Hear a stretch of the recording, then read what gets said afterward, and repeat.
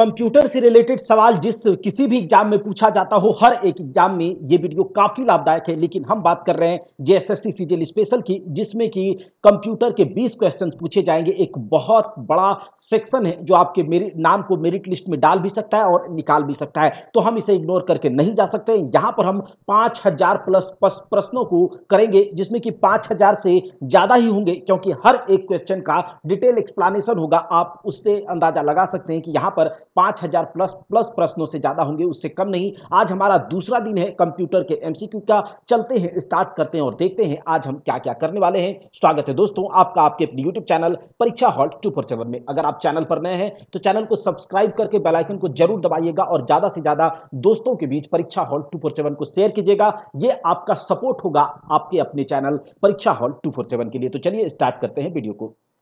आप केवल ध्यान से वीडियो को सुनिएगा और इसके जो भी यहाँ पर डिस्कस किए जाएँगे, वो पॉइंट्स को आप नोट भी कर सकते हैं और केवल ध्यान से सुनने के आपको सारे के सारे एमसीक्यू याद भी हो जाएँगे। तो चलिए, लेकिन देखिए, यहाँ पर हम लोग डिटेल में क्लास कर चुके हैं, कंप्यूटर के प्लेलिस्ट में क्लासेस पड़े हुए हैं। आप वहाँ पर जाकर के क्लासेस को देखिए, उससे आपको एक अंदाज़ा लगेगा कि किस प्रकार से हम कंप्यूटर को आसान भाषा में समझ सकते हैं। तो चलिए, कंप्यूटर के स्ट्रक्चर पर बात करेंगे, कंप्यूटर के संरचना पर हम बात करेंगे। सबसे पहला यहाँ पर दिया गया है, कंप्यूटर के मुख्य भाग कितने होते हैं? कंप्यूटर के अगर बात करें कि मेन कंपोनेंट्स कंप्यूटर कितने कंपोनेंट से मिलकर के बने होते हैं तो ये आपका छह भाग है। कितना? छह भाग है कंप्यूटर के छह भाग। सबसे पहला कंप्यूटर का एक मॉनिटर है, क्योंकि अगर कंप्यूटर का मॉनिटर नहीं होगा तो आप क्या ही उस पर देखेंगे, क्या ही उस पर करेंगे काम तो मॉनिटर आउटपुट यूनिट ज़रूरी है तो मॉनिटर दूसरा क्या है? कंप्यूटर के बगल में जो आप देखते हैं, एक बड़ा सा बॉक्स देखते हैं, आपके डेस्कटॉप में आप देखे होंगे कि कंप्यूटर के बगल में एक जो बड़ा सा डेस्क कंटेनर होता है, उसको सब कोई बोल देता है कि अरे भैया, ये सीपीयू है। जी नहीं, ये सीपीयू नहीं है, बल्कि इसके अंदर सीपीयू होता है। ये होता है एक एक जो कंटेनर है, ये जो बॉक्स है, इसको सिस्टम यूनिट कहते हैं, इसके अंदर सब कुछ होता है और लैपटॉप में तो एक छोटे से पार्ट में इसको डाल दिया जाता है। तो ये अलग बात है। तो एक दूसरा हो गया, एक मॉनिटर। दूसरा है सीपीयू, तीसरा है आपका कीबोर्ड। आप कीबोर्ड से ही क्या करेंगे? कंप्यूटर के अंदर जो भी इनपुट देंगे, जो भी इंस्ट्रक्शंस देंगे, वो कंप्यूटर के जो आप बाहर से अंदर देंगे, वो कैसे देंगे? कीबोर्ड से देंगे। तो एक हो गया मॉनिटर, दूसरा हो गया सीपीयू, तीसरा हो गया कीबोर्ड और एक कीबोर्ड के बगल में जो होता है वो क्या है? माउस। तो माउस भी इसका अभिन्न हिस्सा है, ठीक है?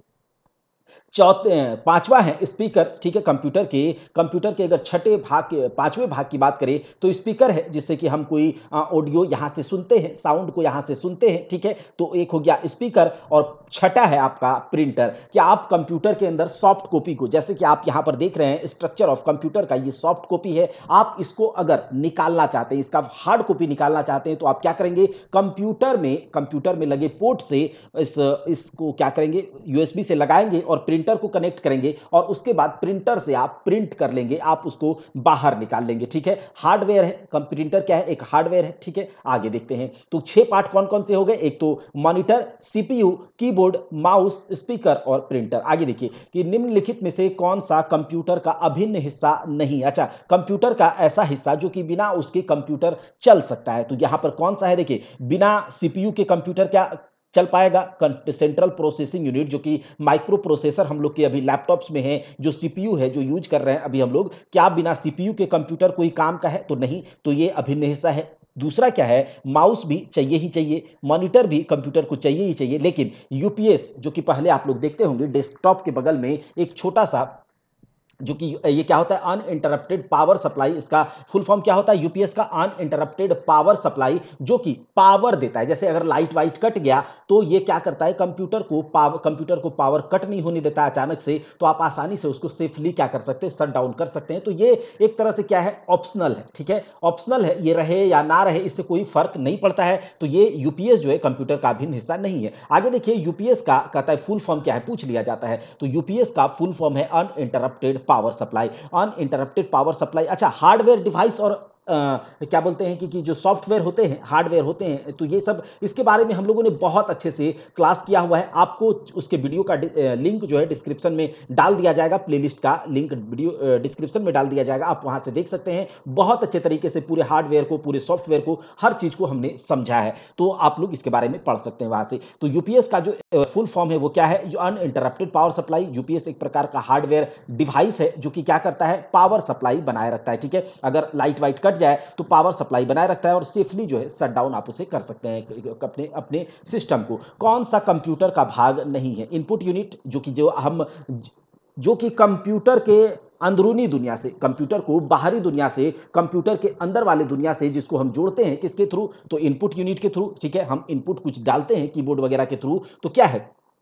इनपुट तो ये इनपुट यूनिट है तो कंप्यूटर का ये भाग है इनपुट यूनिट आउटपुट यूनिट जैसे हम आउटपुट यूनिट क्या हो सकता है, आपका जो मॉनिटर है प्रिंटर ये सब क्या है आउटपुट यूनिट है स्पीकर क्या है आउटपुट यूनिट है, हम अपने माउस से कंप्यूटर के अंदर कंप्यूटर के अंदर अपने चीज़ों को भेजते हैं तो ये क्या हो गया इनपुट यूनिट अपने जो मॉनिटर से आप कंप्यूटर के अंदर की चीज़ को बाहर देखते हैं तो ये क्या हो गया आउटपुट यूनिट और मेमोरी यूनिट भी कंप्यूटर का यूनिट ही है, क्योंकि जब तक कंप्यूटर में जो आप secondary storage memory unit primary memory जो होता है, ये सब क्या है? मेमोरी यूनिट के अंदर आता है। तो मेमोरी यूनिट भी कंप्यूटर का ही भाग है। तो input unit, output unit, memory unit, ये सारे के सारे कंप्यूटर के भाग हैं। बेसिक यूनिट कहीं हमने कंप्यूटर में नहीं सुना है तो ये कंप्यूटर यूनिट का भाग नहीं है। अब आगे देख लेते हैं कि बताइए, यहाँ पर लिखा हुआ है कि कौन सीपीयू का भाग नहीं है। देखिए, हमने बात किया था सीपीयू यानी कि सेंट्रल प्रोसेसिंग यूनिट। सीपीयू यानी कि सेंट्रल प्रोसेसिंग यूनिट और सीपीयू जो है, कितने तीन चीज़ों से मिलकर के बना होता है। इसके अंदर जो होता है, एक होता है कंट्रोल यूनिट एक होता है आपका अर्थमेटिक लॉजिक यूनिट और एक होता है रजिस्टर्स। जिसको रैम वगैरह भी यहाँ पर हम लोग कहते हैं।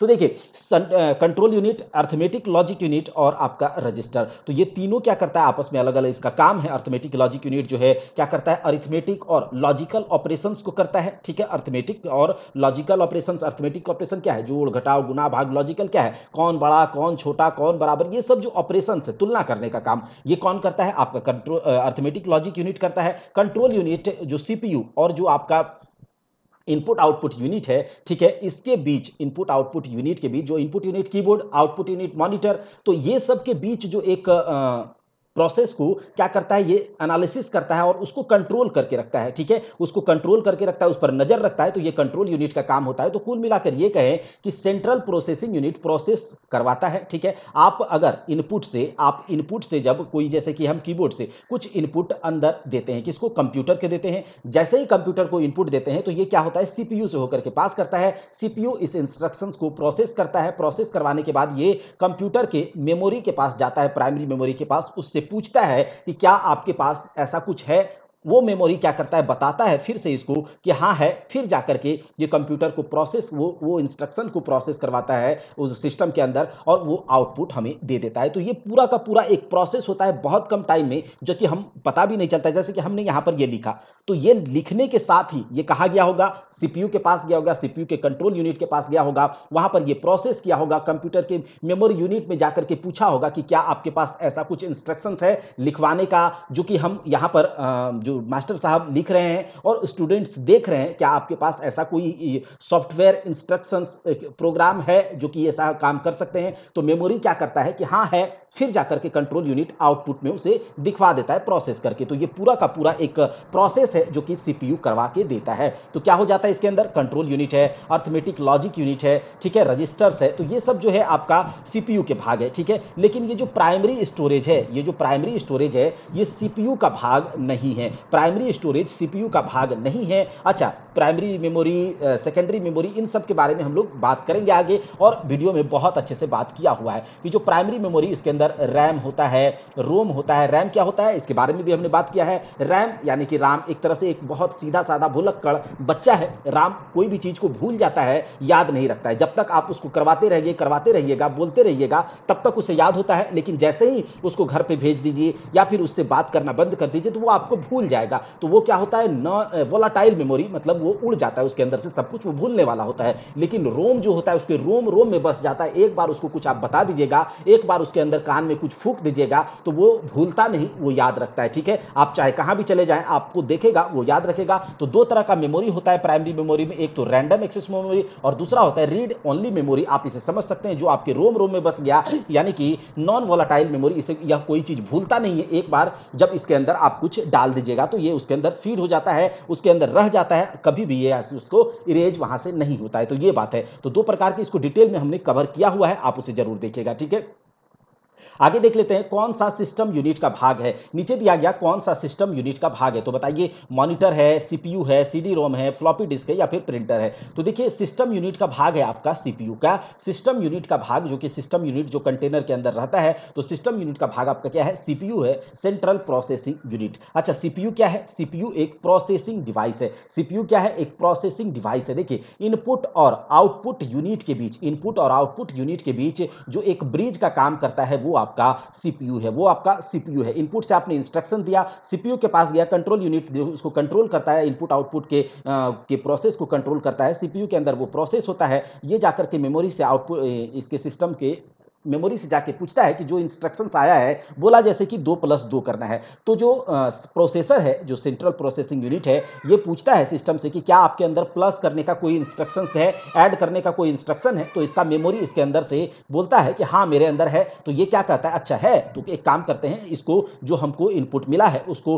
प्रोसेस करवा के आउटपुट करवा देते हैं आउटपुट दिखा देते हैं। तो ये काम जो है सीपीयू का होता है मतलब प्रोसेसिंग डिवाइस है सेंट्रल प्रोसेसिंग यूनिट ठीक है? अब देखिए कंप्यूटर किसके बिना काम नहीं कर सकता? कंप्यूटर स्कैनर के बिना काम कर सकता है? तो जी हाँ कंप्यूटर में स्कैनर नहीं होगा तो चलेगा। लेकिन इंटरनेट के बिना काम करेगा? अरे जी हाँ इंटरनेट नहीं होगा तो भी तो हम रिकॉर्ड कर सकते हैं। भले अपलोड करने के लिए हमें इंटरनेट की आवश्यकता है तो कंप्यूटर काम करेगा बिना इंटरनेट के। हम इस पर मूवी देख सकते हैं, जो पहले से इसके हार्ड डिस्क में, इसके सेकेंडरी स्टोरेज में, जो कुछ मूवी या फिर प्राइमरी स्टोरेज में भी अगर कुछ मूवी इसके स्टोर्ड है पहले से तो हम क्या कर सकते हैं? हम इससे मूवीज़ वगैरह देख सकते हैं, कंप्यूटर को चला सकते हैं। तो इसका सीधा सा मतलब है कि इंटरनेट के बिना कंप्यूटर का काम किया जा सकता है, माउस के बिना भी कंप्यूटर चल सकता है, लेकिन सीपीयू अगर नहीं होगा तो ये प्रोसेस ही नहीं करवाएगा। जो भी आप इनपुट देंगे, जो भी आप इसको डेटा देंगे इनपुट के रूप में इंस्ट्रक्शन इंस्ट्रक्शंस देंगे तो ये इस इंस्ट्रक्शंस को प्रोसेस नहीं करवाएगा और आप, आपको आउटपुट नहीं मिलेगा। तो बिना सीपीयू के कंप्यूटर किसी काम का नहीं है। यानी कि आपका अगर माथा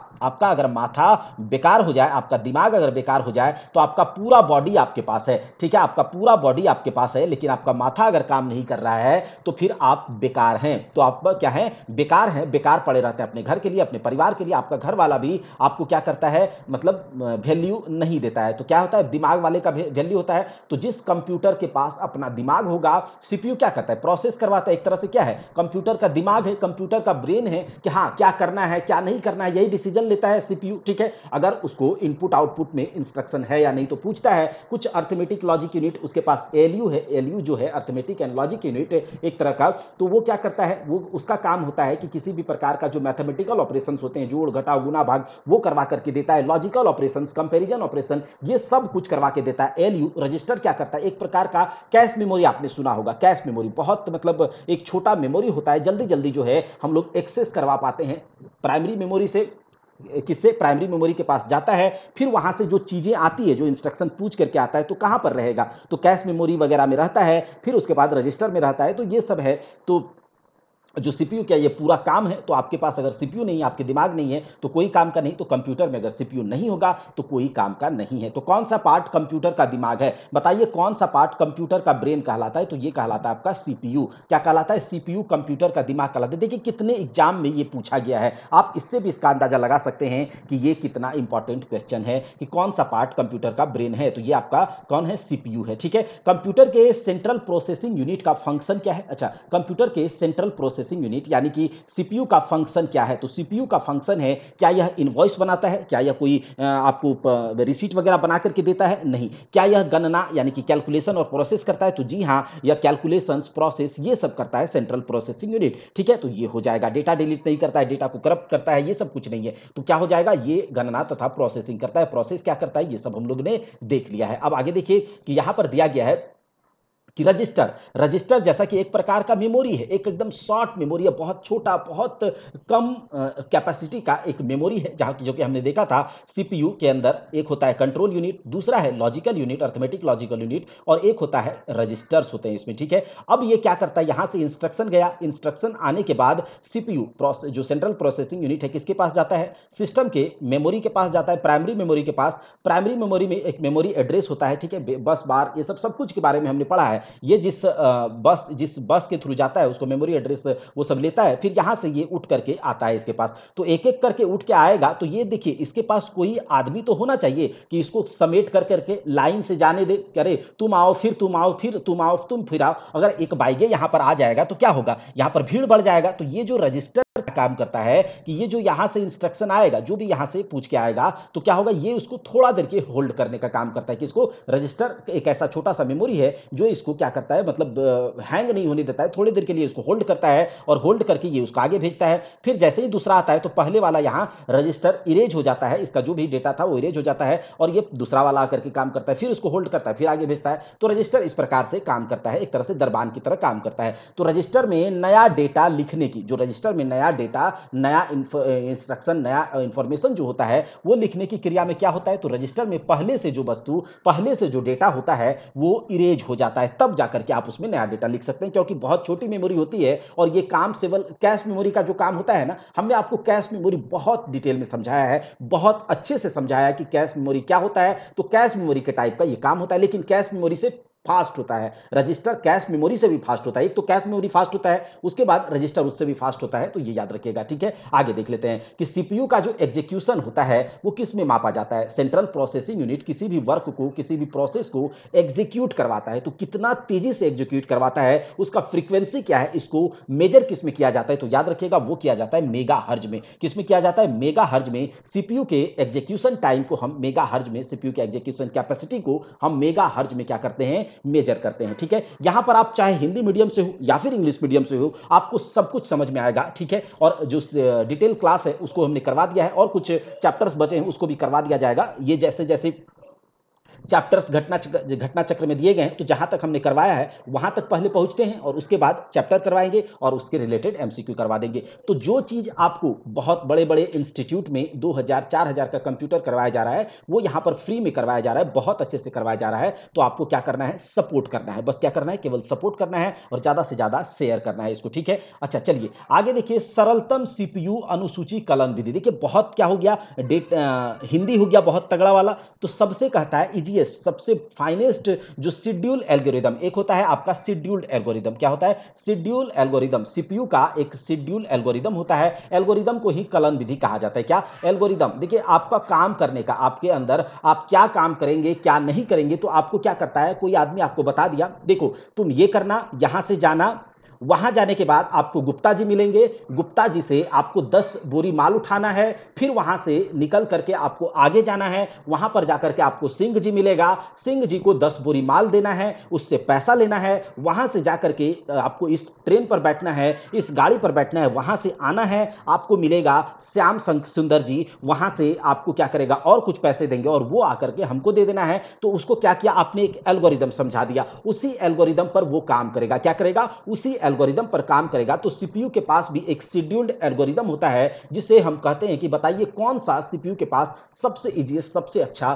शेड्यूल एल्गोरिदम होता है तो उसे सीपीयू को मल्टी लेवल शेड्यूल एल्गोरिदम कहा जाता है। क्या होता है? मल्टी लेवल शेड्यूल एल्गोरिदम या फिर बहुस्तरीय अनुसूची कलन विधि। उसको हिंदी में कहते हैं बहुस्तरीय अनुसूची कलन विधि। मल्टी लेवल शेड्यूल एल्गोरिदम मतलब आपको शेड्यूल करके दे दिया गया, ये ये आपको करना है। तो देखिए सीपीयू के पास जो शेड्यूल एल्गोरिदम होता है ना, वो कौन कौन सा है, चलिए इस पर आपको चर इस पर इसको आपको अच्छे से बता देते हैं, जिससे कि आपको समझ में आ जाएगा। मतलब ये नहीं कि डिटेल में यहाँ पर करवाएँगे, लेकिन हाँ जितना समझने का ज़रूरत है, उतना हम लोग यहाँ पर इसको समझ लेते हैं। देखिए अब आपको यहाँ से पेन लेते हैं। चलिए तो क्या होता है? मान लिया कि ये सीपीयू है। अब सीपीयू को क्या करता है? सीपीयू प्रोसेस करवाता है, इसको इंस्ट्रक्शंस मिलता है, इसको इंस्ट्रक्शन मिलता है, उसको इनपुट मिलता है, उसको वो प्रोसेस करवाता है। कैसे प्रोसेस करवाएगा? ये आगे मेमोरी से पूछता है कंप्यूटर के मेमोरी से पूछता है मेमोरी बताता है, जी हाँ हमारे पास ऐसा है। तो फिर जाकर के ये उसे एग्जीक्यूट करवा देता है और फिर आउटपुट में वो चीज़ हमें दे देता है। आउटपुट मिल जाता है हमें इनपुट सीपीयू प्रोसेस किया, फिर मेमोरी से पूछा, फिर उसके बाद अगर उसके पास वैसा कुछ होगा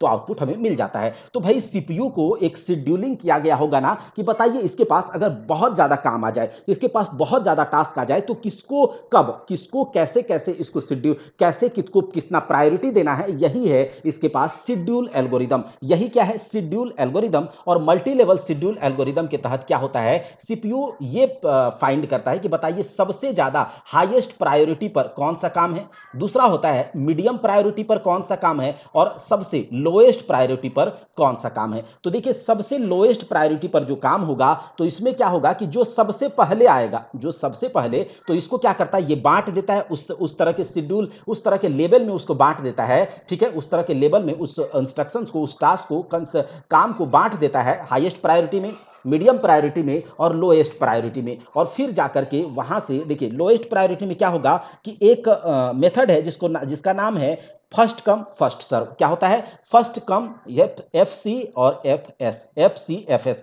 First come, first serve. यानी कि जो पहले आएगा, उसी का हम लोग काम करेंगे। यहाँ कोई प्रायोरिटी नहीं चलेगा। मतलब जो पहले आएगा, जैसे देखिए, अगर आप वीआईपी नहीं है अगर आप वीआईपी नहीं है तो आप कहीं पर जाएँगे तो आपको लाइन लगना होगा। आप सबसे पहले लाइन में जाएँगे तो आपका सबसे पहले काम होगा, जो सबसे लास्ट में आएगा, उसका बाद में काम होगा। तो ये सबसे लोएस्ट प्रायोरिटी वाले जो भी काम होते हैं तो जो सबसे पहले हम इनपुट देंगे, उसका काम सीपीयू पहले करवा देगा। तो ये एक तरह से एफ़ सी एफ़ एस के बीच आता है। और एक होता है मीडियम प्रायोरिटी में। तो मीडियम प्रायोरिटी में क्या होता है? Shortest job first shortest job first मतलब मीडियम प्रायोरिटी जिसको मीडियम प्रायोरिटी हम लोग कह सकते हैं। तो मीडियम प्रायोरिटी में क्या होगा कि बीच बीच का प्रायोरिटी है, जिसको प्राधानता देना है, लेकिन बीच बीच में जो प्रायोरिटी होगा तो जो सबसे छोटा काम होगा, उसको पहले कर देंगे। जो सबसे छोटा काम होगा, जो सबसे इजी काम होगा, उसको पहले कर देंगे तो उसको कहा जाता है शॉर्टेस्ट जॉब फ़र्स्ट यानी कि एस जे एफ़ देखिए, यहाँ पर लिखा हुआ है S J F S J F scheduling algorithm S J F scheduling algorithm यानी कि शॉर्टेस्ट जॉब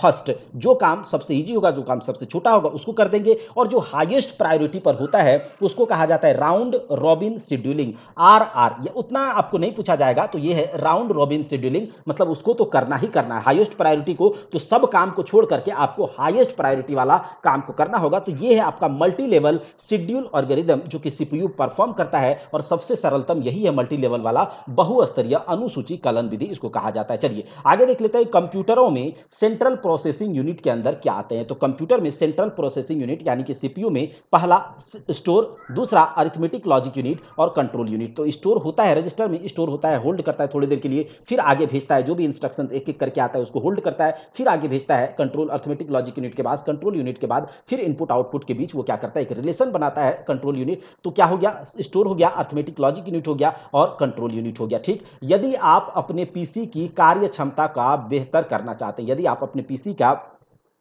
अपग्रेड करना चाहते हैं तो आपको क्या अपग्रेड करना होगा? तो आपको अपना माइक्रो प्रोसेसर आपको अपना सीपीयू अपग्रेड करना होगा, ठीक है? सीधा सा बात है सीपीयू सेंट्रल प्रोसेसिंग यूनिट क्योंकि सेंट्रल प्रोसेसिंग यूनिट ही जितना अच्छा होगा, जितना अपग्रेडेड वर्जन का होगा, वो क्या करेगा?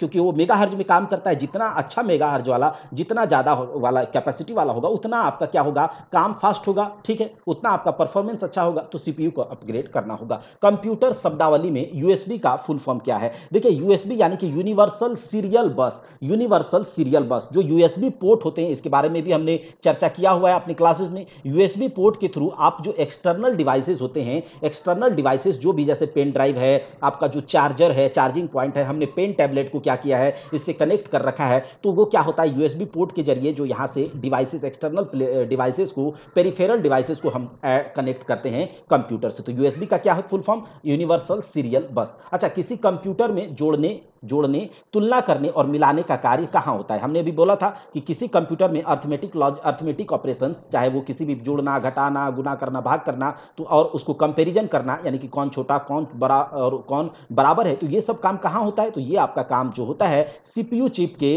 एलयू में होता है, अर्थमेटिक लॉजिक यूनिट में होता है, ठीक है? आगे देख लेते हैं, सीपीयू को कितने भाग में बांटा जाता है? तो सीपीयू को बांटा जाता है तीन भागों में, ठीक है? सीपीयू को तीन भागों में बांटा जाता है, एक तो अर्थमेटिक लॉजिक यूनिट, एक होता है कंट्रोल यूनिट और एक होता है आपका सीपीयू के अंदर ही। ये कहा जाएगा भाई? मेन मेमोरी से प्राइमरी मेमोरी मेन मेमोरी कौन सा मेमोरी होता है कंप्यूटर का? प्राइमरी मेमोरी होता है। हम जो एक्सटर्नल मेमोरी यूज़ करते हैं हार्ड डिस्क है पेन ड्राइव है कंपेक्ट डिस्क है, आपका डीवीडी है, ठीक है? जो पहले मैग्नेटिक टेप चलता था, जिसके बारे में हमने अच्छे से बात किया हुआ है, ठीक है? कि कौन सा हार्ड एक्सटर्नल डिवाइस है।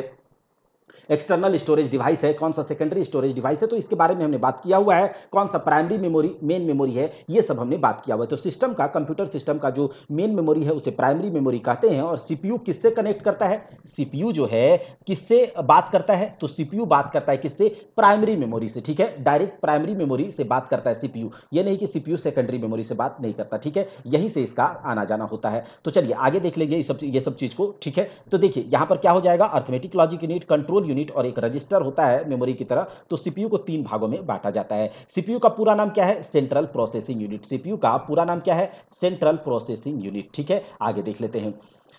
अब देखिए निम्नलिखित में से कौन सा आउटपुट डिवाइस नहीं है? आउटपुट डिवाइस कौन सा नहीं है? तो मॉनिटर आउटपुट डिवाइस है। जी हाँ मॉनिटर के थ्रू हम क्या करते हैं? कोई भी इंटरनल कंप्यूटर के अंदर के चीज़ को कंप्यूटर के अंदर के चीज़ को हम बाहर देखते हैं। तो आउटपुट डिवाइस है। कंप्यूटर के अंदर कंप्यूटर के अंदर जिस भी मेथड से, जिस भी डिवाइस के थ्रू कंप्यूटर के अंदर हम चीज़ों को डालेंगे तो वो इनपुट डिवाइस होता है। ठीक है? तो मॉनिटर क्या है? हम उससे बाहर देखते हैं, हम अभी देख रहे हैं, आप भी देख रहे हैं अपने मोबाइल में। तो ये क्या है? मॉनिटर तो मॉनिटर आउटपुट डिवाइस है। जी हाँ प्रिंटर के थ्रू हम कंप्यूटर के अंदर के चीज़ों को बाहर निकाल लेते हैं हार्ड कॉपी में। तो ये आउटपुट डिवाइस है। प्लॉटर की भी एक क्या है? आउटपुट डिवाइस ही है। लेकिन टच स्क्रीन इनपुट डिवाइस है, क्योंकि टच के थ्रू हम कंप्यूटर के अंदर इनपुट इंस्ट्रक्शंस डालते हैं तो ये इनपुट डिवाइस है। ठीक है? कंप्यूटर का मॉनिटर क्या होता है? तो कंप्यूटर का मॉनिटर एक आउटपुट डिवाइस होता है। देखिए, यहाँ लिखा गया है कि बताइए कौन सा सही है। ग्राफिकल यूज़र इंटरफेस अच्छा इसके बारे में हमने बात नहीं किया हुआ है क्या कंप्यूटर में ऑपरेटिंग सिस्टम जब हम आपको पढ़ा रहे थे सॉफ्टवेयर में तो उसमें बताया था कि graphical user interface character user interface जिसमें एम एस डॉस वगैरह के बारे में बात की थी ग्राफिकल यूज़र इंटरफेस में जो आजकल देख रहे हैं आप नए नए टेक्नोलॉजी जो आपका मोबाइल आ रहा है, जो ऑपरेटिंग सिस्टम जिसमें एंड्रॉइड ऑपरेटिंग सिस्टम है, चाहे विंडोज़ हो, कोई भी ऑपरेटिंग सिस्टम है तो उसमें क्या होता है ग्राफिकल यूज़र इंटरफेस एक तरह से यूज़र इंटरफेस है। यूज़र फ्रेंडली है, एक इंटरफेस होता है जो कि आपको यूज़र को मतलब हमारे जैसे उपयोगकर्ता को कंप्यूटर के साथ कनेक्ट करता है इजीली जैसे कि हम कोई छोटे से छोटे बच्चे भी आज मोबाइल यूज़ कर ले रहे हैं, उसके पास सामने क्या होता है? मल्टीमीडिया वाला गैलरी होता है। वो गैलरी को टच कर लेता है। जैसे उसको दिखता है, अरे ये फ़ोन वाला है। फ़ोन को टच करके फ़ोन लगा लेता है। उसे दिखता है, अरे व्हाट्सएप है। व्हाट्सएप को टच करके व्हाट्सएप मैसेजिंग कर लेता है। तो ये ग्राफिकल यूज़र इंटरफेस वाला जमाना है। अगला देखिए विजुअल डिस्प्ले यूनिट वीडियो का यूनिट क्या हो फुल फॉर्म क्या होता है? विजुअल डिस्प्ले यूनिट लेकिन एलयू का अर्थमेटिक लॉजिक यूनिट होता है, लेकिन यहाँ लिखा गया और लॉजिकल यूनिट तो ये गलत है बाद बाकी ये दोनों सही है। चलिए आगे देख लेते हैं। निम्नलिखित में से यूएसबी की प्रमुख विशेषता क्या है? यूएसबी मतलब universal serial bus universal serial bus एक स्वतंत्र प्लेटफॉर्म है, एक इंडिपेंडेंट प्लेटफॉर्म है, जिसके थ्रू हम एक्सटर्नल डिवाइसेस को पेरिफेरल डिवाइसेस को कंप्यूटर से कनेक्ट करते हैं। तो ये एक स्वतंत्र प्लेटफॉर्म है, याद रखिएगा। इंडिपेंडेंट प्लेटफॉर्म है। अच्छा इलेक्ट्रॉनिक कंपोनेंट इलेक्ट्रॉनिक कंपोनेंट वाले थीन प्लेट या फिर बोर्ड को हम क्या कहते हैं? देखिए, एक बोर्ड आपने देखा होगा। क्या देखा होगा? एक बोर्ड आपने देखा होगा तो उसमें छोटे छोटे छोटे छोटे इलेक्ट्रॉनिक क्या होते हैं कंपोनेंट्स लगे होते हैं छोटे छोटे जैसे कि कैपेसिटर लगा होता है माइक्रो प्रोसेसर लगा होता है, जो आप देखे हो, देखा होगा आपने। तो ये क्या है? इसको कहते हैं हम लोग सर्किट बोर्ड कहते हैं। क्या कहते हैं? सर्किट बोर्ड कहते हैं। देखिए, अब आगे देख लेते हैं। कंप्यूटर का मुख्य सिस्टम बोर्ड क्या कहलाता है? तो कंप्यूटर का मुख्य सिस्टम बोर्ड कंप्यूटर का जो मेन सिस्टम बोर्ड होता है, वो क्या कहलाता है? मदर बोर्ड कहलाता है। मदर बोर्ड का मतलब क्या? जिसके ऊपर कंप्यूटर के सारे कंपोनेंट्स लगे होते हैं, चाहे साउंड कार्ड हो, चाहे आपका वीडियो कार्ड हो, चाहे डिस्प्ले कार्ड हो, कोई प्राइमरी मेमोरी हो, रैम हो, रोम हो, हर एक चीज़, या फिर जो पोर्ट्स होते हैं जिसके थ्रू हम लोग कंप्यूटर को कनेक्ट करते हैं एक्सटर्नल डिवाइसेस से, सारे के सारे कंपोनेंट्स जो हैं, वो आपके कंप्यूटर के मदरबोर्ड पे होते हैं। माइक्रो प्रोसेसर भी आजकल जो कंप्यूटर के मदरबोर्ड पे होता है, जिसे सीपीयू कहा जाता है तो ये क्या है? मदरबोर्ड कहलाता है। एक बोर्ड होता है, जिसके ऊपर कंप्यूटर के सारे कंपोनेंट्स लगे होते हैं। तो ये क्या हो गया? मदरबोर्ड कहलाता है। देखिए, कंप्यूटर के सभी हार्डवेयर की जाँच कौन करता है? बायोस। कौन करता है? अच्छा इसके बारे में कंप्यूटर सॉफ्टवेयर के अंदर आपको मैंने बताया था कि बायोस क्या होता है। क्या है? बायोस क्या होता है जिसे बेसिक इनपुट आउटपुट सिस्टम कहते हैं। ये ये कंप्यूटर को जब आप स्टार्ट करते हैं तो स्टार्ट करने के बाद सबसे पहला जो सॉफ्टवेयर सबसे पहला, कंप्यूटर को स्टार्ट करने के बाद जो सबसे पहला सॉफ्टवेयर यूज़ में आता है, वो आपका है बायोस यानी कि B I O S basic input output system और ये आपके कंप्यूटर को स्टार्ट करने में मदद करता है। अगर आपका बायोस सही नहीं है तो कंप्यूटर आपका स्टार्ट नहीं होगा। बायोस कंप्यूटर के स्टार्ट होते ही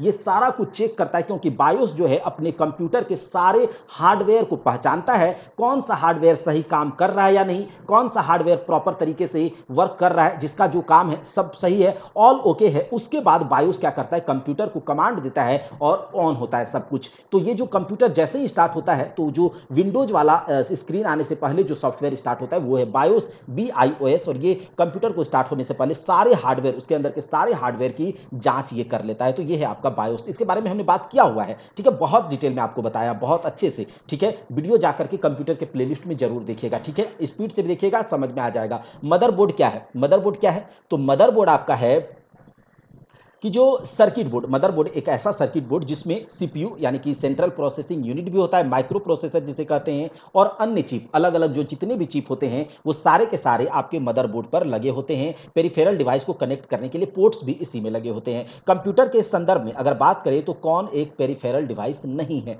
ठीक है? तो देखिए कीबोर्ड क्या है? पेरीफेरल डिवाइस है। देखिए कंप्यूटर को कंप्यूटर को हम बाहरी हार्डवेयर डिवाइस के साथ जो जोड़ते हैं पेरीफेरल का मतलब क्या होता है? आउटपुट तो बाहर के डिवाइस को अगर कंप्यूटर के थ्रू जोड़ते हैं एक्सटर्नल डिवाइस को तो ये सब क्या है? पेरीफेरल डिवाइस है, जैसे कीबोर्ड पेरीफेरल डिवाइस है माउस बाहर से जोड़ते हैं पेरीफेरल डिवाइस है, ठीक है? मॉनिटर एक तरह से क्या है?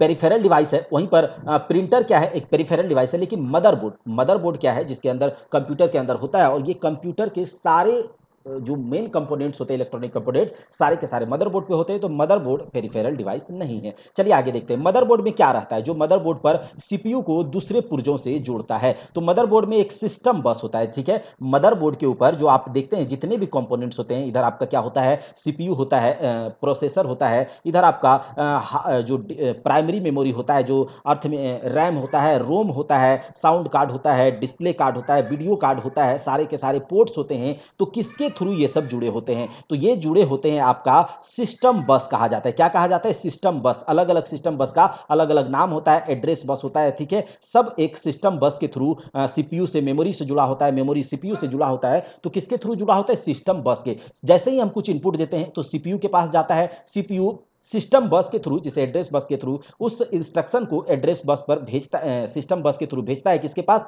मेन मेमोरी के पास, यानी कि प्राइमरी मेमोरी के पास, ये प्राइमरी मेमोरी से पूछता है कि क्या आपके अंदर ऐसा ऐसा इंस्ट्रक्शन को काम करने के लिए, एग्जीक्यूट करने के लिए इंस्ट्रक्शन दिया गया है? मेमोरी कहता है, जी हाँ दिया गया है। तो वो क्या करता है, अपने ये जो सिस्टम, सीपीयू एक पर्टिकुलर एड्रेस पर उसको पता रहता है कि ये कहाँ होगा। तो मेन मेमोरी एड्रेस पर जाकर के पूछता है उससे वो बताता है और उसको फ़ीड उस पर चढ़ा देता है और फिर इन्फॉर्मेशन को ये लेकर आता है सीपीयू के पास और सीपीयू को दे देता है हाँ है हमारे पास। फिर सीपीयू जाता है और आउटपुट दे देता है हम लोग को। तो इस तरह से काम होता है। तो सिस्टम बस के थ्रू ये सारे के सारे कंपोनेंट्स जुड़े हुए होते हैं। अच्छा मदरबोर्ड को निम्न में से और नामों से जाना जाता है क्या? तो देखिए मदरबोर्ड को मेन सिस्टम बोर्ड भी कहा जाता है सिस्टम बोर्ड भी कहा जाता है। तो मदरबोर्ड को मेन बोर्ड कहिए सिस्टम बोर्ड कहिए, सब कुछ कहा जाता है ठीक है? अब आगे देख लेते हैं।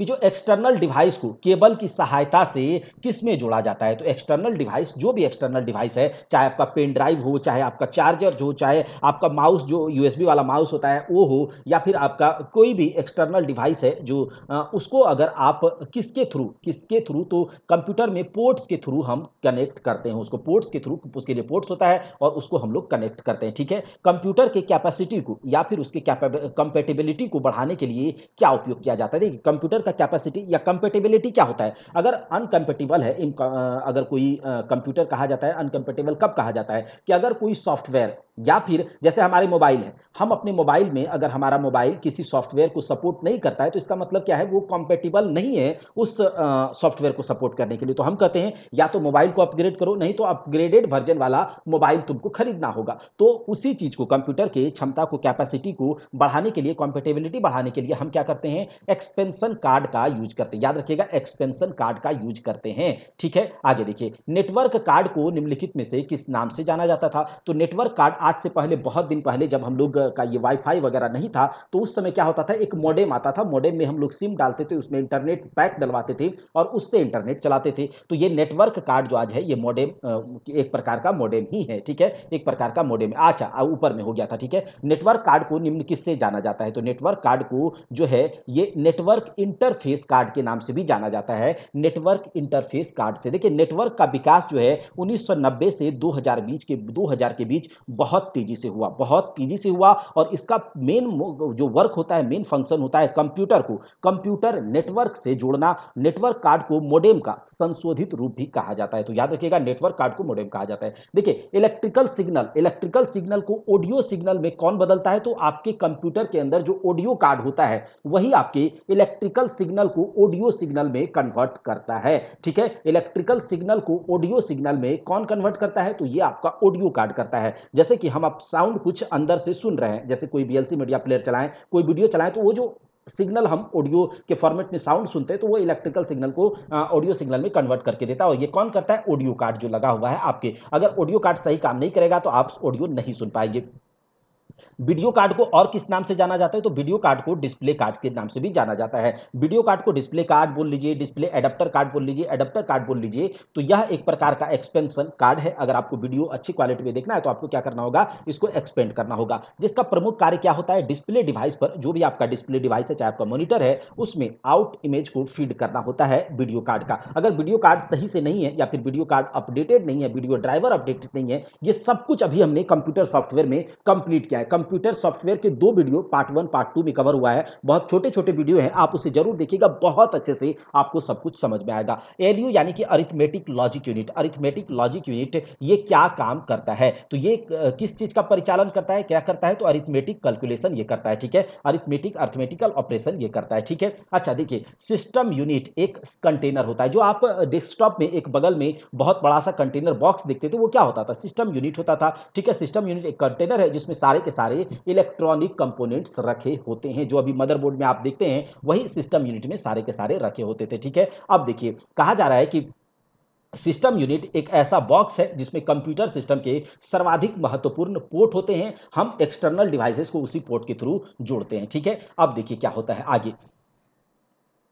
हाँ अर्थमेटिक एंड लॉजिक यूनिट यानी कि A L U A L U जो है अर्थमेटिक एंड लॉजिक यूनिट गणना करने, यानी कि कैलकुलेशन करने के लिए जिम्मेदार है और इसमें निर्णय करने की, करने वाली व्यवस्था होती है। निर्णय का मतलब कि कौन छोटा, कौन बड़ा, ये arithmetic logic operation arithmetic operation भी करता है लॉजिकल ऑपरेशन भी करता है, ये बराबर कंपेरिजन भी करवाता है तो ये अर्थमेटिक लॉजिक यूनिट का बात हम लोग ने किया। हम लोगों ने किया तो क्या हो गया? अर्थमेटिक लॉजिक यूनिट कैलकुलेशन के लिए जिम्मेदार होता है तो याद रखिएगा कैलकुलेशन के लिए जिम्मेदार होता है और अर्थमेटिक लॉजिक यूनिट यूनिट जो है इसके बारे में सबसे पहले किसने इसके इसके बारे में जो इसका कॉन्सेप्ट किसने आ, कौन लाया था तो 1945 में याद रखिएगा अरिथमेटिक लॉजिक यूनिट का जो कॉन्सेप्ट आया था 1945 में एक साइंटिस्ट थे कंप्यूटर साइंटिस्ट वो कौन थे John von Neumann John von Neumann ji हुए इन्होंने ही इस आ, मतलब एल के बारे में बात किया था। अच्छा हमने देखा कि जॉन वॉन न्यूमैन एल के कॉन्सेप्ट को लाया था अरिथमेटिक और लॉजिकल और यही जॉन वॉन न्यूमैन जो स्टोर्ड प्रोग्राम है ठीक है अभी जो भी प्रोग्राम इंस्ट्रक्शन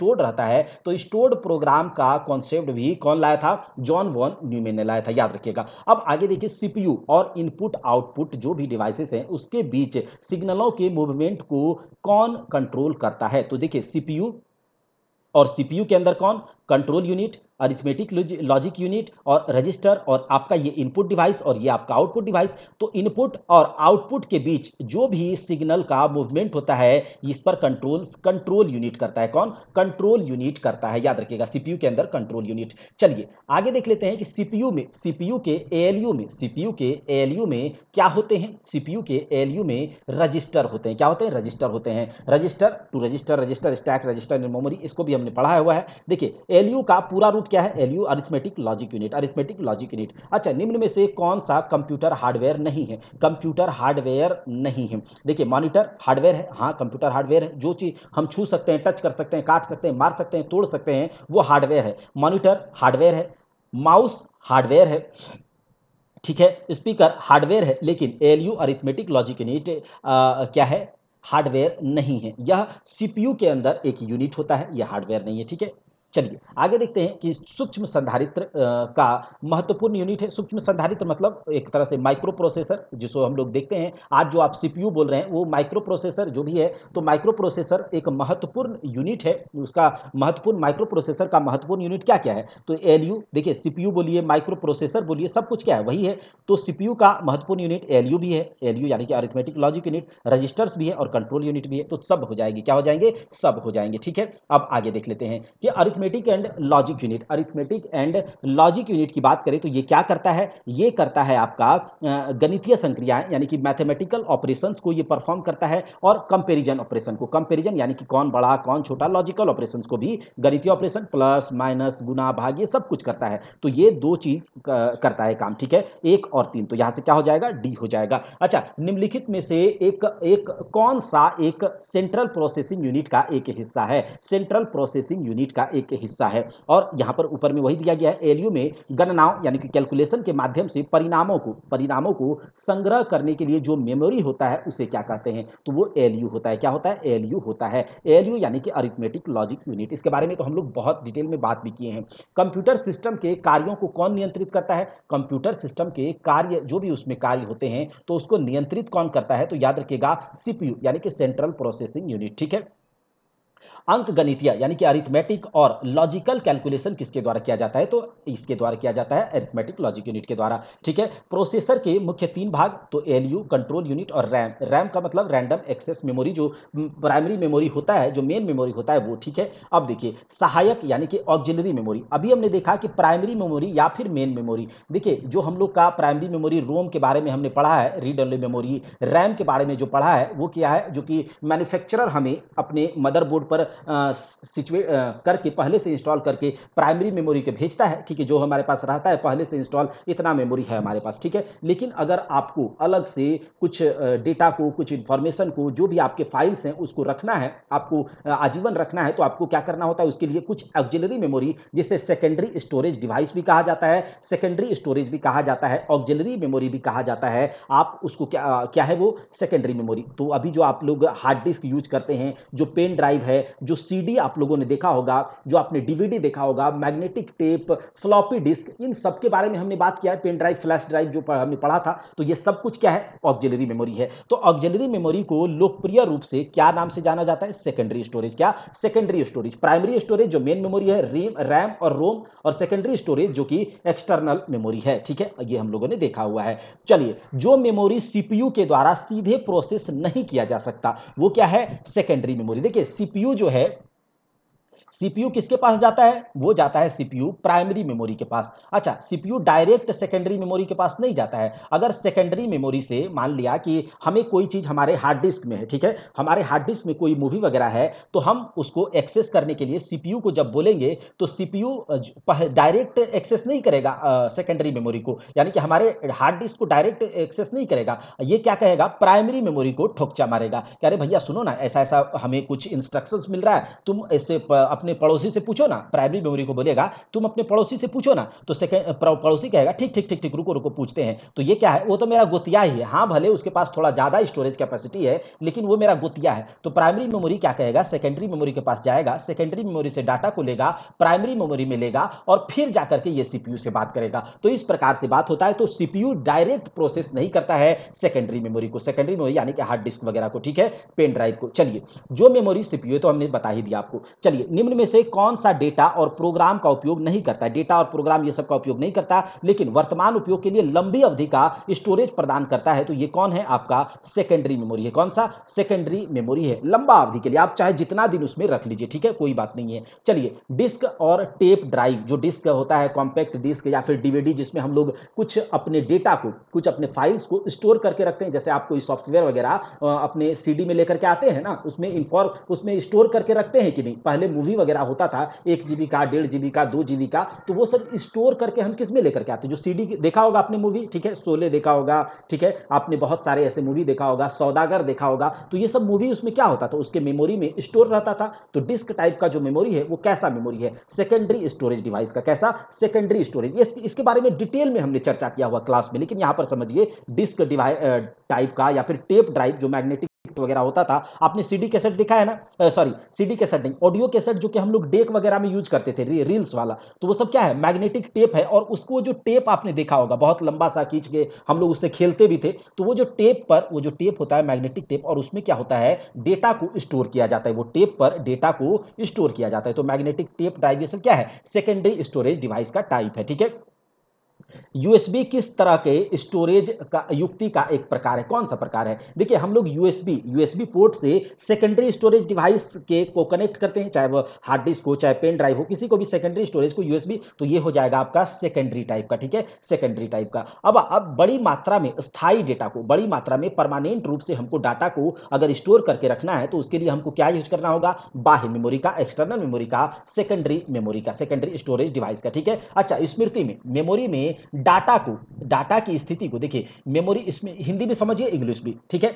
स्मृति में आंकड़ों, आंकड़े मतलब डाटा डाटा की स्थिति को विशेष रूप से व्यक्त करने का साधन क्या है? तो देखिए, जब सीपीयू सीपीयू के पास कोई इंस्ट्रक्शन पहुँचता है सीपीयू क्या करता है? उसको पता होता है कि मेमोरी में वो जो इंस्ट्रक्शन है, वो मेमोरी में कहाँ पर है? उसका एड्रेस उसको पता होता है तो वो होता है मेमोरी एड्रेस क्या होता है? मेमोरी का अपना, हर एक मेमोरी का अपना एक एड्रेस होता है, वो उस एड्रेस पर जाता है, उससे पूछता है, और वो उस बस पर फिर से आ जाता है और इसको बता देता है। तो वो बस सिस्टम बस होता है। तो ये याद रखिएगा कि स्मृति, यानी कि मेमोरी में डाटा के एक पर्टिकुलर स्थिति को विशेष रूप से व्यक्त करने के लिए मेमोरी एड्रेस का यूज़ होता है, ठीक है? अब आगे देखिए, निम्नलिखित में से कौन सा निर्देश चक्र निर्देश चक्र को भी हमने पढ़ा है आपको इंस्ट्रक्शन साइकिल इंस्ट्रक्शन साइकिल ठीक है? इसको पालन करने में शामिल नहीं है, ठीक है? इंस्ट्रक्शन साइकिल क्या होता है? देखिए, हमने एक इंस्ट्रक्शंस को दिया, ठीक है? हमने एक इंस्ट्रक्शन कोई भी इंस्ट्रक्शन दिया, ये इंस्ट्रक्शन क्या करता है? सीपीयू फेच करता है। उस इंस्ट्रक्शन को फेच करता है फ़ेज़ का मतलब लेना, ठीक है? फ़ेज़ किया फ़ेज़ करने के बाद इस इंस्ट्रक्शन को डिकोड किया जाता है। क्या किया जाता है? उसको समझा जाता है, इस इंस्ट्रक्शन को डिकोड किया जाता है और डिकोड करने के बाद इस इंस्ट्रक्शन को क्या किया जाता है? रीड किया जाता है। किसे? मेमोरी किसे? इस इंस्ट्रक्शन को रीड किया जाता है। तो रीड किया जाता है। उसके बाद फिर जाकर के रीड करके उसको उस इंस्ट्रक्शन को एग्जीक्यूट किया जाता है। तो क्या होता है? एक इंस्ट्रक्शन साइकिल में क्या होता है? फेच होता है। उसको fetch fetch the instruction decode the instruction read the instruction और उसके बाद रीड करने के बाद एग्जीक्यूट होता है। तो एक पूरा इंस्ट्रक्शन साइकिल इस प्रकार से होता है या फिर इंस्ट्रक्शन साइकिल होता है फेच इनडायरेक्ट उसके बाद आपका एग्जीक्यूट और एक होता है इंटरप्ट ये पूरा साइकिल होता है इंस्ट्रक्शन साइकिल का एक होता है फ़ेज़ इनडायरेक्ट फ़ेज़ के बाद इनडायरेक्ट उसके बाद एग्जीक्यूशन और फिर इंटरप्ट तो ये इंस्ट्रक्शन साइकिल का एक पूरा प्रोसेस होता है। तो इसमें आप देखिए कि यहाँ पर कौन कौन सा इंस्ट्रक्शन साइकिल में शामिल है या फिर नहीं। फ़ेज़ है जी हाँ है। इनडायरेक्ट है जी हाँ है। एग्जीक्यूट है हाँ है। लेकिन मेमोरी इंस्ट्रक्शन साइकिल में कोई काम आ, मतलब नहीं करता है। तो यहाँ से क्या हो जाएगा? इसका सही जवाब? इसका सही जवाब हो जाएगा मेमोरी इंस्ट्रक्शन साइकिल में कोई पालन में शामिल नहीं है। आगे देखिए, निम्नलिखित में से सबसे तेज कौन सा है? अच्छा सबसे तेज जो है, चाहे सीडी रोम की बात करें सीडी रोम क्या है? सीडी रोम जो आपका प्राइमरी मेमोरी है रैम प्राइमरी मेमोरी है रैंडम एक्सेस मेमोरी आपका कैश मेमोरी ये भी प्राइमरी मेमोरी ये भी फास्ट होता है, लेकिन इससे भी फास्ट होता है आपका रजिस्टर मेमोरी जो कि आपके सीपीयू में होता है सेंट्रल प्रोसेसिंग यूनिट में होता है। थोड़े देर के लिए होल्ड करने का इसके पास कैपेसिटी होता है और बहुत फास्ट होता है, बहुत जल्दी ये क्या करता है, चीज़ों को अपने से लेकर के जाता है और हैंग नहीं करने देता है। जैसे कि आपका कैश के बारे में आपको बताया थे कैश मेमोरी क्या होता है, ये सब आपको बताया हुआ है। ठीक है? तो चलिए। कैश से ये फास्ट होता है कैश मेमोरी से? देखिए, यहाँ पर बात करते हैं कि जो आपका मेमोरी मेमोरी क्या कंप्यूटर का एक महत्वपूर्ण क्षेत्र? बताइए, क्या ऐसा चीज़ है? कंप्यूटर का एक महत्वपूर्ण क्षेत्र है जो डेटा के प्रोसेस प्रोसेस्ड स्टोर्ड या फिर आउटपुट होने की प्रतीक्षा करते हुए डेटा को अस्थायी रूप से होल्ड करता है। तो डेटा को होल्ड करने का कैपेसिटी किसके पास होगा? मेमोरी के पास होगा। किसके पास होगा? मेमोरी के पास होगा। चलिए, आगे देख लेते हैं। वर्तमान में वर्तमान में सीपीयू के द्वारा निष्पादित, यानी कि वर्तमान में सीपीयू के द्वारा एग्जीक्यूट किया गया प्रोग्राम और डेटा निम्नलिखित में से कौन स्टोर करता है? तो सीपीयू के द्वारा जो भी एग्जीक्यूट किया हुआ प्रोग्राम हो या फिर डेटा हो, वो प्राइमरी मेमोरी में स्टोर होता है, क्योंकि सीपीयू और प्राइमरी मेमोरी का बातचीत होता है। ये दोनों दोस्त है, लेकिन सेकेंडरी मेमोरी सीपीयू का दोस्त नहीं है। हाँ प्राइमरी मेमोरी का गोतिया है सेकेंडरी मेमोरी तो अगर सीपीयू को कोई चीज़ सेकेंडरी से लेना होता है तो वो किससे बात करता है? वो बात करता है प्राइमरी मेमोरी से। तो सीपीयू में एग्जीक्यूट प्रोग्राम डाटा इस सबको जो स्टोर करता है, वो प्राइमरी मेमोरी में स्टोर होता है, और प्राइमरी मेमोरी दो प्रकार के होते हैं रैम और रोम होता है रैम और रोम। रैम दो प्रकार का होता है। एक होता है एस रैम और एक होता है डी रैम। एस रैम और डी रैम। डी रैम मतलब डायनेमिक रैंडम एक्सेस मेमोरी और S RAM static random access memory और ये जो रोम होता है, ये होता है रीड ओनली मेमोरी और ये देखिए रोम जो होता है, ये होता है नॉन वोलाटाइल नेचर का। यानी कि इसमें आप कोई चीज़ अगर फ़ीड कर दिए इसमें कोई इंस्ट्रक्शन कोई सॉफ्टवेयर कोई प्रोग्राम डाल दिया गया तो ये भूलता नहीं है अपने अंदर से। लेकिन रैम में क्या होता है, ये भूल जाता है। जैसे ही लाइन कटा जैसे ही पावर ऑफ़ हुआ, ये क्या भूला, है ना? जैसे ही पावर कट हुआ, ये सब कुछ भूल जाएगा। ये सब कुछ आपके अगर सेव आपके, आपने नहीं किया कोई चीज़ को, आप काम कर रहे हैं तो वो आप जैसे ही पावर ऑफ़ हो जाएगा, फिर आप ऑन कीजिएगा तो उससे सब कुछ डिलीट हो चुका होगा। तो रैम क्या करता है? सिर्फ़ आपको एक जगह देता है काम करने के लिए। जैसे कि अभी हम अभी हम आपसे क्लास से इंटरेक्ट हो रहे हैं तो ये कहाँ पर काम हो रहा है? ये रैम पर हो रहा है। कहाँ पर? रैम पर। लेकिन जैसे ही लाइट कट जाए, या फिर हम बिना ये किए सेव वेव किए इसको, ऐसे ही रिकॉर्डिंग बंद कर दे तो ये रिकॉर्डिंग यहाँ रहेगा नहीं। अगर सेव नहीं करेंगे तो यही चीज़ है रैम केवल काम करने का जगह देता है हमको, ठीक है? कि आप सही से काम कर लीजिए और यहाँ से चलते बनिए, है ना? चलिए, ये बात हम लोगों ने अच्छे से समझा हुआ है। मैग्नेटिक टेप किस प्रकार की मेमोरी है? मैग्नेटिक टेप जो कि एक सीडी जो कैसेट होता था, ऑडियो कैसेट वगैरह तो एक्सटर्नल डिवाइस का मेमोरी है। एक्सटर्नल टाइप का तो एक्सटर्नल मेमोरी बोलिए, सेकेंडरी मेमोरी बोलिए तो एक्सटर्नल का है। स्मार्ट कार्ड में, स्मार्ट कार्ड जो आप लोग देखते हैं, उसमें जो भी डेटा इंफॉर्मेशन होता है, उसका, उसके स्टोरेज के लिए उसमें क्या लगा होता है? जैसे आपका एटीएम कार्ड है, आपका कोई भी स्मार्ट कार्ड है, आपका मेट्रो कार्ड है तो उसमें क्या होता है? एक एक इंफॉर्मेशन आपका उसमें स्टोर रहता है, ठीक है? जैसे आपका एटीएम कार्ड है तो आपका एटीएम कार्ड है, आप उसमें जैसे ही पैसा डालते हैं तो उसमें अगर दो लाख रुपया है तो बीस लाख तो नहीं आ जाएगा। तो इसका मतलब है वो कुछ मेमोरी को स्टोर किया हुआ है तो उसके लिए वहाँ पर माइक्रोचिप लगे होते हैं माइक्रोचिप अगर आपका माइक्रोचिप खराब हो गया है तो आपका एटीएम रीड नहीं करता है। आपने देखा होगा आपको उसमें एक देखिएगा, इस प्रकार के एटीएम कार्ड में एक छोटा सा पार्ट होता है, वो माइक्रोचिप होता है, उसी में सारे के सारे इंफॉर्मेशन स्टोर रहते हैं, ठीक है? मेमोरी पद के लिए निम्न में कौन सा प्रयुक्त होता है? मेमोरी के लिए। तो स्टोरेज होता है, ठीक है? लॉजिक थोड़ी होगा, कंट्रोल थोड़ी होगा, प्रोग्राम थोड़ी होगा। अच्छा चलिए, कंप्यूटर में स्मृति के प्रकार हैं। कंप्यूटर में मेमोरी के प्रकार कौन कौन से हैं? तो कंप्यूटर में मेमोरी के प्रकार सेमीकंडक्टर मेमोरी, देखिए, प्राइमरी मेमोरी जो कि रैम, रोम है, उसको हम सेमीकंडक्टर मेमोरी भी कहते हैं। तो सेमीकंडक्टर मेमोरी भी कहा जाता है, ठीक है? मैग्नेटिक मेमोरी भी होता है, ऑप्टिकल मेमोरी, जो ऑप्टिकल डिवाइसेज होते हैं, जैसे कि सीडी है, कॉम्पैक्ट डिस्क है डीवीडी है, ये सब ऑप्टिकल मेमोरी के अंदर आता है तो ऑप्टिकल मेमोरी लेकिन सर्वर मेमोरी के प्रकार नहीं है। तो यहाँ से क्या हो जाएगा? एक, दो, चार। तो ऑप्शन देख लीजिए सी वाला है। ठीक है? आगे देख लेते हैं। कंप्यूटर का वह हिस्सा जहाँ डेटा तथा निर्देश भरा होता है। कंप्यूटर का कौन सा हिस्सा जहाँ पर डेटा तथा इंस्ट्रक्शंस भरे होते हैं, वो मेमोरी यूनिट में ही भरे होते हैं। सारे के सारे डेटा तथा इंस्ट्रक्शन मेमोरी में स्टोर करके रखा हुआ होता है। अच्छा जहाँ कंप्यूटर और प्रोग्रामों और डेटा को स्टोर करते हैं, उसे क्या कहते हैं? तो उसे कहा जाता है आपका स्टोरेज यूनिट क्या कहा जाता है? उसे कहा जाता है स्टोरेज यूनिट ठीक है, आगे देख लेते हैं मेमोरी को कितने भागों में बांटा गया है? मेमोरी को दो भागों में बांटा गया है। कौन सा? प्राइमरी मेमोरी और सेकेंडरी मेमोरी प्राइमरी मेमोरी यानी कि कि मेन मेमोरी प्राइमरी मेमोरी यानी कि इंटरनल मेमोरी सेकेंडरी मेमोरी यानी कि एक्सटर्नल मेमोरी ठीक है? याद रखिएगा। सेकेंडरी मेमोरी को जो आपका सेकेंडरी स्टोरेज डिवाइस आगे जो अपने लंबे समय के लिए अपने डेटा फाइल्स को सेव करने के लिए स्टोर करने के लिए रखते हैं, ठीक है? ये सब हम लोग जानते हैं। अच्छा इंस्ट्रक्शन यानी कि निर्देश इंफॉर्मेशन यानी कि सूचना और परिणाम, यानी कि उसको एकत्रित, उसको स्टोर करने के लिए किसका प्रयोग किया जाता है? तो मेमोरी यूनिट का। मेमोरी में रखेंगे ये सारे के सारे चीज़ों को। फ्लॉपी डिस्क किस प्रकार की मेमोरी है? देखिए फ्लॉपी डिस्क इसके पहले यूज़ होता था, ठीक है? हमने बताया बताया था कि फ्लॉपी डिस्क में जो मेमोरी यूज़ होता है, बहुत कम उसका कैपेसिटी होता है और उसके कैपेसिटी के हिसाब से अलग अलग फ्लॉपी डिस्क जो होते हैं तो वो हमने देखा हुआ है। तो फ्लॉपी डिस्क किस प्रकार की मेमोरी है? तो ये एक बाह्य मेमोरी तथा सेकेंडरी मेमोरी, दोनों प्रकार की मेमोरी है, ठीक है?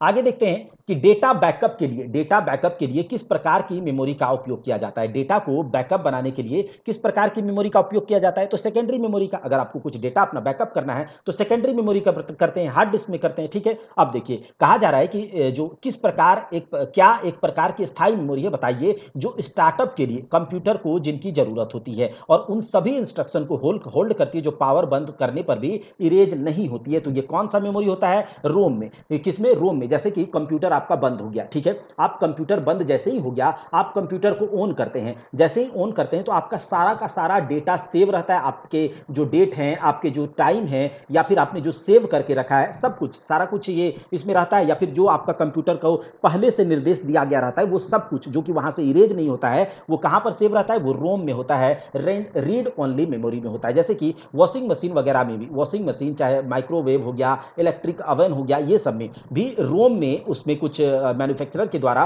कुछ इंस्ट्रक्शंस को फ़ीड करके डाल दिया जाता है उसके रोम में, ठीक है? और एक चिप होता है उसमें डाल दिया जाता है और वो वही काम करता है, कभी नहीं भूलता, जैसे ही उसमें ऑन कीजिए ऑफ़ कीजिए ऑफ़ करने के बाद ऑन कीजिए, फिर भी वो भूलता है क्या कि हमको इस टाइम पर बंद होना है, इस टाइम पर इतना देर चलना है, आप उसको जो इंस्ट्रक्शन देते हैं, वो काम करता है। तो वो चीज़ भूलता क्यों नहीं? वो कहाँ रहता है? तो रोम में रहता है, यानी कि नॉन वोलाटाइल मेमोरी में, जो उड़ने वाला मेमोरी नहीं होता, इसके रोम रोम में बसा होता है, एक बार जैसे ही उसमें आप कुछ बात कह दिए। अच्छा कंप्यूटर का रोम क्या है? तो कंप्यूटर का रोम जो है तो जो कंप्यूटर का रोम क्या एलयू का भाग है? अर्थमेटिक लॉजिक यूनिट का नहीं ये आ, क्या बोलते हैं इसका सीपीयू का भाग नहीं है। कंप्यूटर सॉफ्टवेयर का भाग है रोम सॉफ्टवेयर का भाग है ही नहीं ठीक है? अच्छा ऑपरेटिंग सिस्टम का भाग है? नहीं। कंप्यूटर हार्डवेयर का एक प्रकार है ठीक है? कंप्यूटर हार्डवेयर का एक प्रकार है ये प्राइमरी मेमोरी ठीक है? जैसे मदरबोर्ड पर ये लगा हुआ होता है ठीक है? रोम तो याद रखिएगा कंप्यूटर हार्डवेयर का एक भाग है। अच्छा रीड रोम का पूरा नाम पूरा रूप रीड ऑनली मेमोरी क्या? रीड ऑनली मेमोरी रोम के सभी रूपों को और क्या कहते हैं? रोम के सभी रूपों को और उसको फर्मवेयर भी कहा जाता है। अब ये फर्मवेयर क्या होता है, इसको मैंने कंप्यूटर सॉफ्टवेयर में आपको बताया हुआ है, बहुत अच्छे से। फर्मवेयर यानी कि पक्का वाला, जो कभी भूलता नहीं है। जैसे कोई भी हार्ड डिस्क, आपका कोई भी हार्ड हार्डवेयर है, कीबोर्ड है, या फिर आपका किसी भी टाइप का हार्डवेयर, आपका कैमरा है, वेब कैम है, या फिर आपका वॉशिंग मशीन है, आपका टीवी है, ये सारे के सारे हार्डवेयर, अपना काम को भूलता क्यों नहीं है भाई? क्यों नहीं भूलता है कि मुझे वीडियो दिखाना है? मुझे जैसे ही ऑन किया जाएगा तो हमको इतना देर चलने के लिए बोला जाएगा तो हम इतना देर चलेंगे। वॉशिंग मशीन ठीक है? माइक्रोवेव भी उतना ही देर चलता है, उतना ही देर पकाता है जितना देर हमको इंस्ट्रक्शन दिया जाता है। तो ये सारी की सारी चीज़ों को हम भूलते क्यों नहीं? तो हार्डवेयर, जितने भी हार्डवेयर होते हैं, उन हार्डवेयर में माइक्रो मैन्युफैक्चरर के द्वारा एक इंस्ट्रक्शंस फ़ीड कर दिया जाता है इम्बेड कर दिया जाता है, जिसे फर्मवेयर का नाम दिया जाता है। एक प्रकार का सॉफ्टवेयर ही है, लेकिन जो कि भूलता नहीं है, हार्डवेयर के अंदर इम्बेड कर दिया जाता है। तो रोम को एक प्रकार से फर्मवेयर भी कहा जा सकता है, ठीक है? अब देखिए, यहाँ पर कह रहा है कि ऑड इवेन आउट तो विषम का चयन कीजिए। देखिए floppy disk secondary storage type का मेमोरी है डीवीडी सेकेंडरी स्टोरेज है और स्टोरेज टाइप का है memory hard disk secondary storage type का, लेकिन रोम जो है, ये रीड ऑनली मेमोरी प्राइमरी है तो यही हो जाएगा आपका यहाँ पर इवेंट ऑड प्राइमरी स्टोरेज यूनिट निम्नलिखित में से कौन से रूप को संकेतित करती है? Primary storage. तो देखिए, दोनों, प्राइमरी स्टोरेज दोनों होता है इंटरनल स्टोरेज बोल लीजिए या फिर प्राइमरी मेमोरी बोल लीजिए, जो बोल लीजिए। अच्छा ईपी रोम क्या होता है? देखिए रोम क्या होता है? आप उसको डबल ई रोम बोलिए ईपी रोम बोलिए ई ई रोम बोलिए तो ई रोम बोलिए तो ये सब होता है। ईपी रोम क्या होगा? Erasable programmable read only memory अब क्या होता था कि रोम के अंदर जो चीज़ हम डाल दिए, वो वो भूलता नहीं था एक बार, लेकिन अब धीरे धीरे लोग जो है कभी कभी कुछ इंस्ट्रक्शन को हमें चेंज करना होता है या फिर आ, कभी अचानक से उसको अपग्रेड करना होता है तो कैसे? एक बार जो हमारे पास रोम आ गया तो वो अपग्रेड अगर नहीं होगा उसको भूलेगा नहीं उसको लिखा नहीं जा सकता। केवल एक बार रीड कर दिया एक बार उसमें जो चीज़ डाल दिया अब उसमें हम लोग राइट नहीं कर सकते। केवल उससे आप चीज़ों को ले सकते हैं। तो उस टाइप से क्या होने लगा? दिक्कत होने लगा। तो धीरे धीरे चेंज हुआ टाइम और रोम में भी हम लोग क्या कर सकते हैं? चेंज कर सकते हैं उसके डेटा को इरेज कर सकते हैं। बहुत सारे उसके लिए मेथड्स हैं और उसके डेटा को इरेज करके हम फिर से उसमें कुछ चीज़ों को इंस्ट्रक्शंस को फ़ीड कर सकते हैं। तो उसी के अलग अलग प्रकार हैं। तो एक है आपका erasable programmable read only memory को कहते हैं ईपी रोम ठीक है? याद रखिएगा। अब देखिए, कहा जा रहा है अनंत प्रकृति की, यानी कि इनफाइनाइट नेचर का मेमोरी से युक्त एवं कंप्यूटर कंप्यूटेशन की समस्याओं के विश्लेषण में प्रयुक्त होने वाले सैद्धांतिक कंप्यूटर को ट्यूरिंग मशीन कहा जाता है। याद रखिएगा ट्यूरिंग मशीन क्या है? एक प्रकार का मैथमेटिकल मॉडल है, जो कि इनफाइनाइट लेंथ वाली एक टेप होती है। और इसमें अनंत प्रकृति यानी कि इन्फाइनाइट नेचर का स्मृति से यह लैस होता है। कंप्यूटेशन की समस्याओं के विश्लेषण में प्रयुक्त होने वाले इस सैद्धांतिक कंप्यूटर को कहा जाता है ट्यूरिंग मशीन याद रखिएगा। अच्छा ईपी रोम के बारे में यानी कि erasable programmable read only memory के बारे में कौन सा सत्य नहीं है? यह erasable programmable read only memory ठीक है? नॉन वोलाटाइल मेमोरी है हाँ ये भी ठीक है, क्योंकि इसमें एक बार आप जो चीज़ को डाल देंगे, ये भूलता नहीं है। इसको अगर आपको इसके इंस्ट्रक्शन को अपग्रेड करना है, कुछ और डालना है तो वो इरेज आप कर सकते सकते हैं, बहुत सारे उसके लिए मेथड्स हैं, लेकिन ये नॉन वालाटाइल मेमोरी है। सिक्वेंशियल एक्सेस मेमोरी भी है, लेकिन ये रैंडम एक्सेस मेमोरी नहीं है, ठीक है? रैंडम एक्सेस मेमोरी क्या होता है? वोलाटाइल नेचर का होता है। इसमें पावर ऑफ़ करने के बाद इसके सारे के सारे ये इसका दिमाग उड़ जाता है, भूल जाता है ये सब कुछ। रोम किस प्रकार की मेमोरी है? तो रोम आपका नॉन वोलाटाइल टाइप का मेमोरी है, यानी कि गैर परिवर्तनशील मेमोरी है। रोम का पूरा नाम, रीड ओनली मेमोरी। रोम का पूरा नाम, रीड ओनली मेमोरी। अब देखिए ईपी रोम क्या है? ईपी रोम क्या है? तो electric elect, erasable, programmable, read only memory. अभी हमने देखा था, निम्नलिखित में से स्थायी मेमोरी कौन सा है? अस्थाई मेमोरी पी रोम है क्या? पी रोम स्थायी मेमोरी है क्या? ईपी रोम अस्थाई मेमोरी है क्या? डबल ई, यानी कि electrically erasable, programmable, read only memory. Electrical, programmable, erasable, programmable, read only memory. Programmable, read only memory. तो ये सब क्या है? अस्थाई मेमोरी है। ये सब नॉन वोलाटाइल है परमानेंट टाइप का मेमोरी है, ठीक है? ये सब है, ठीक है? अच्छा ईपी रोम से डेटा को किसके द्वारा मिटाया जाता है? मान लीजिए कि आपके रोम को, आपके रोम को अपग्रेड करना है, उसमें कुछ आपको इंस्ट्रक्शन फ़ीड करना है तो आपको पहले के डेटा को इरेज करना होगा कुछ, या फिर उसमें आपको कुछ लिखना है, उसमें कुछ राइट करना है, उसमें कुछ प्रोग्राम इंसर्ट करवाना है तो आप उसके डेटा को कैसे इरेज करेंगे? तो उसमें अल्ट्रा वायलेट रे के द्वारा हमको क्या करना होता है, उसके डेटा को इरेज किया जाता है थोड़ा सा ये साइंटिफिक है, वो आप, हम लोग नहीं कर सकते, वो उसके लिए एक स्किल की ज़रूरत है, ठीक है? चलिए, आगे देखते हैं, कहा जा रहा है कि प्राइमरी मेमोरी का एक्सेस टाइम प्राइमरी मेमोरी का एक्सेस टाइम सेकेंडरी मेमोरी के एक्सेस टाइम से ज़्यादा होता है। बिल्कुल गलत। देखिए, प्राइमरी मेमोरी का एक्सेस टाइम कम होता है। देखिए, प्राइमरी मेमोरी सीपीयू के बगल में होता है। अब सीपीयू भाई ज़्यादा बगल में होगा तो उससे एक्सेस जल्दी ये करेगा। न कि सेकेंडरी मेमोरी तो दूर में है और दुश्मनी भी है इसको, इससे डायरेक्ट काम नहीं करता है। तो प्राइमरी मेमोरी का एक्सेस टाइम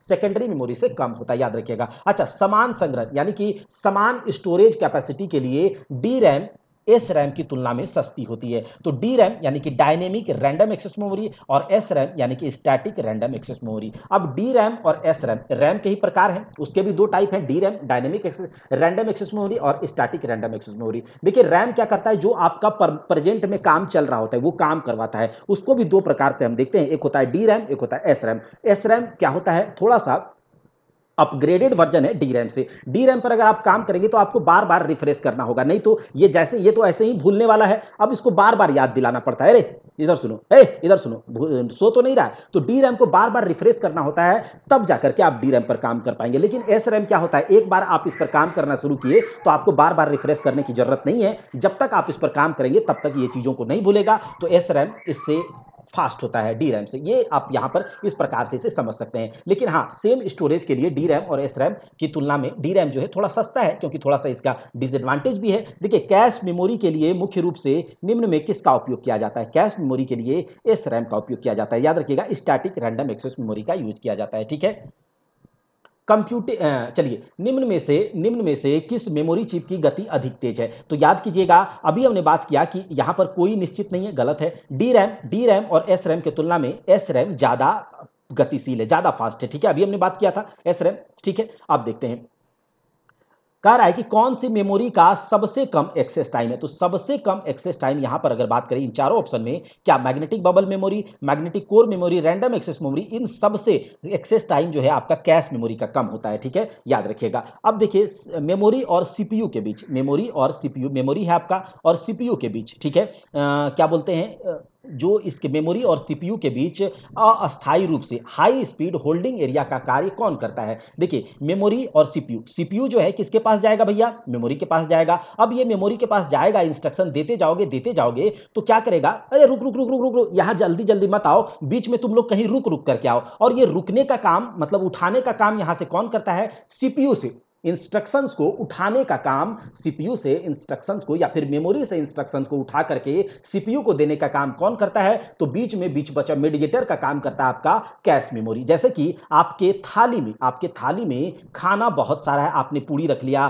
पुलाव रख लिया, आपने सब कुछ रख लिया, ये आपका क्या हो गया? मेमोरी हो गया, ठीक है? मेमोरी हो गया आपका, अब मेमोरी से उठा करके आप अपने मुँह में डालेंगे तो बीच में ये बीच बचाव का आपका कौन करेगा? ये हाथ करेगा, ठीक है? हाथ आप उठा उठा करके आप अपने मुँह में लेते हैं, और अगर हाथ में आप सब चीज़ को एक बार भर लीजिएगा तो हैंग करिएगा कि नहीं, खाने में दिक्कत होगा कि नहीं तो कैश मेमोरी को बार बार इसीलिए साफ़ करना पड़ता है। ये काम करता है इजिली अच्छे से उठा करके मेमोरी से सीपीयू को, चीज़ों को देने का। तो बीच में कौन होल्डिंग एरिया का कार्य करता है? सीपीयू कैश मेमोरी करता है। देखिए डी का क्या लाभ है? डी का, यानी कि डायनेमिक रैंडम एक्सेस मेमोरी का। अभी हमने इसके डिसएडवांटेज देखी। क्या इसका कोई लाभ भी है? तो हाँ इसका ये लाभ है कि डी रैम में हम चीज़ों को एस रैम से ज़्यादा स्टोर करके रख सकते हैं, ठीक है? ये लाभ है इसका।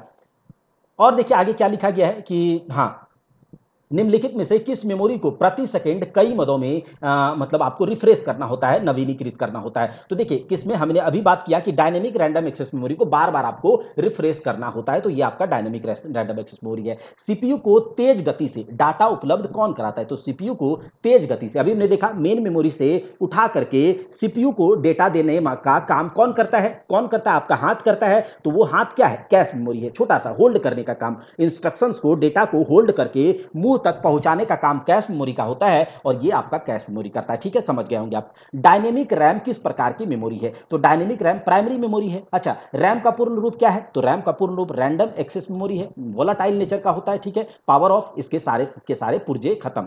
अच्छा यदि यूज़र को सीपीयू में तत्काल उपलब्ध सूचना की ज़रूरत है तो आ, क्या बोलते हैं कि तत्काल सूचना की ज़रूरत हो तो यह कहाँ स्टोर करी जानी चाहिए? तो यह रैम में। देखिए, आपको कोई भी चीज़, जैसे कि आपको कुछ वीडियो देखना है तो ये कहाँ पर आएगा भैया? रैम में आएगा, तब वहाँ से आप देखेंगे। तो रैम में होता है। यहाँ सब कुछ काम रैम पर होता है। रैम आपको एक जगह देता है कि आप वहाँ पर काम को करेंगे, चीज़ों को करेंगे। ठीक है? एक जगह देता है आपको। चलिए, आगे देखते हैं। इसके बाद क्या, कौन सा क्वेश्चन हाँ फ्लैश ड्राइव। फ्लैश ड्राइव को लोकप्रिय रूप में, या फिर हम अपने बोलचाल, आम बोलचाल में क्या बोलते हैं? तो पेन ड्राइव कहते हैं। क्या बोलते हैं? Pen drive. कहते हैं। बस, हम लोग आज इतना ही करेंगे हंड्रेड क्वेश्चन हम लोग डेली करेंगे और हंड्रेड क्वेश्चन में हम लोग इसमें इतना डिटेल में कर रहे हैं कि आपको और भी बहुत सारे फैक्ट मिल जा रहे हैं। तो हम लोग इसको यहाँ से कंप्लीट कर लिए। तो इसके आगे का क्लास हम लोग इसके आगे क्लास, अगले क्लास में लेंगे इसके आगे का क्वेश्चंस अगले क्लास में लेंगे उसको डिटेल से समझेंगे और कंप्यूटर के प्लेलिस्ट में जाकर आप वीडियो भी देख सकते हैं और उससे पहले आप लोगों के लिए, आप लोगों से थोड़ा सा एक सपोर्ट है